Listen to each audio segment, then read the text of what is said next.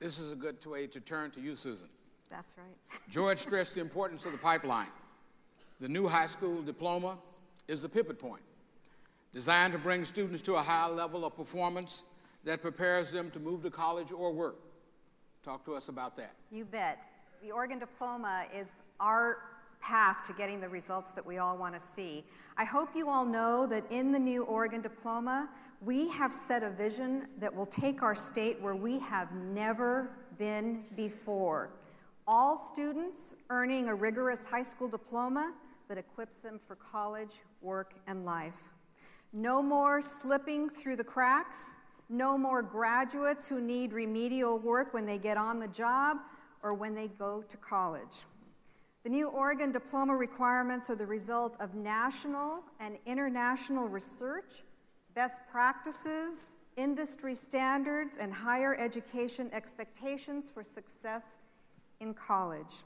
And they include raising the rigor in math and science, raising the number of credits required from 22 to 24, high standards that may be met through a variety of courses and experience, experiences, allowing students to earn credit by demonstrating proficiency based on those standards, opening up more innovative options for students to demonstrate knowledge and skill. And then, in addition to a rigorous academic achievement requirement, in order to earn the Oregon diploma, students will be required to demonstrate proficiency in eight essential skills. You may uh, hear these referred to as 21st century skills.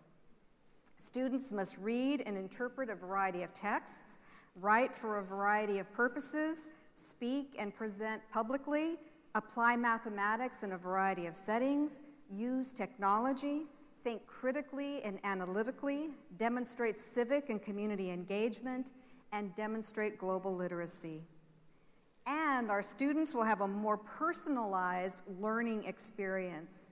Each student will have an education plan and profile, which will help them map their path to their education goals and track their progress, helping them, helping more of our students graduate on time, empowering our students as they become more aware and involved in charting their own course.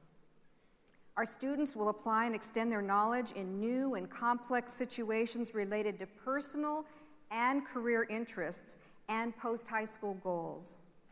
And I know this crowd in particular will be glad to hear that the Oregon Diploma also includes career related learning standards connecting students to real life experiences in the workplace and the community. Students will demonstrate personal management, teamwork, problem solving, and career development. Now, five statewide implementation task forces are at work making recommendations on what it will take to ensure that our students will be successful in meeting these new requirements.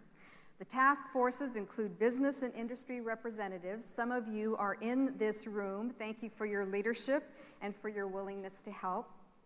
Because in order to be successful, it's going to take all of us working together in new ways. Now, some of these changes are already underway in schools, while others take effect for the class of 2014, which is this year's sixth graders. And up to now, uh, much of the work on the Oregon Diploma has focused on high school and next steps. But we know as we move forward on implementation that this new vision for our state is going to affect all parts of our education system, from preschool and kindergarten to community colleges and our universities. We've launched the first phase of an awareness campaign posing the question Are you ready? We're asking students, parents, and now all of you, the business leaders in our state, are you ready to do your part to help us have a successful implementation? Now, the website for more information and to get all of what I've presented today is getreadyoregon.org. I hope that you will go there and find out more.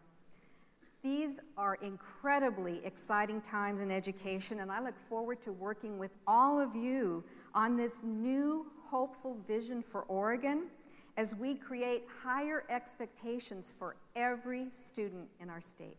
Thanks. Thank you, Susan.